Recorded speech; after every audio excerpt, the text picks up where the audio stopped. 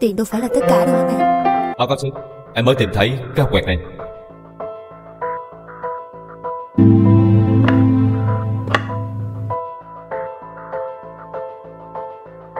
Anh nói chuyện với em. Anh không nhìn vô mặt em được một lần nữa.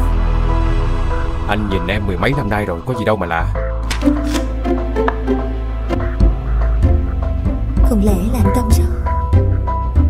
Chắc là muốn dành cho mình điều bất ngờ đi mà turn